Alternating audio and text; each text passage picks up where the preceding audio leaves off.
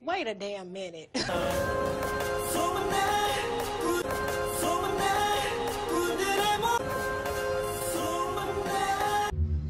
But you did this for what? Why not? Why? Why not? Why though?